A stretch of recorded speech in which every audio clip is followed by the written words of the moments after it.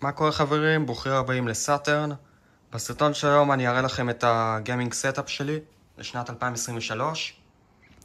אז uh, נתחיל uh, במחשב.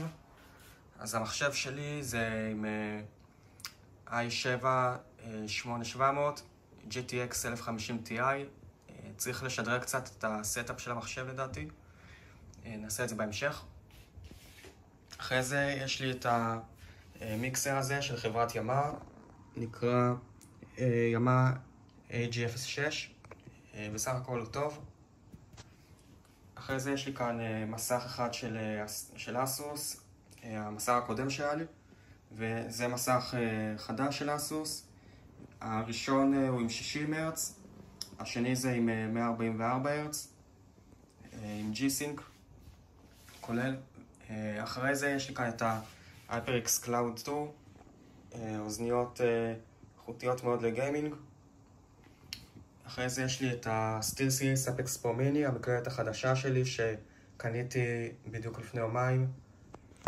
אחרי זה יש לי את ה-Logitech G Pro X Superlight בצבע שחור.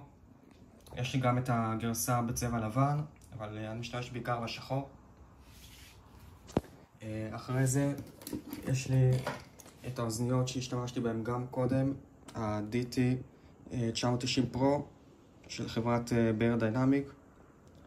אז כן, דגם טוב, ה-Beyerdynamic DT 990 Pro עם 250 אום, בסך הכל הוא טוב, אבל עכשיו לאחרונה אני משתמש בעיקר ב...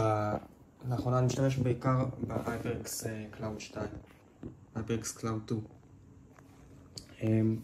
עכשיו מבחינת ה desk setup, אז השולחן, המשטח הוא של איקאה LAGKAPTEN בצבע לבן, שמורכב על רגליים של, שנקראות ADILS ויחידת מגירות של, שנקראת ALEX, ALEX drawers. אז זהו, אז זה כל ה setup שלי, מה אתם חושבים עליו? תכתבו לי בתגובות. אני הייתי סאטרן, ויאללה ביי.